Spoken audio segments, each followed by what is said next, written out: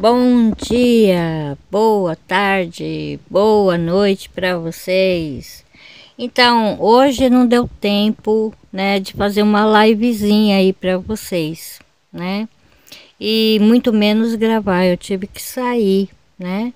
E amanhã provavelmente também não vai dar tempo, porque eu preciso ver umas documentações e tal. Eu preciso sair de manhã e vou chegar bem tarde, né? Ok?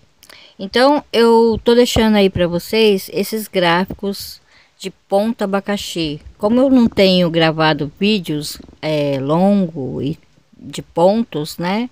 Então é só vocês tirarem print, né? De preferência deixando a tela cheia, tá bom?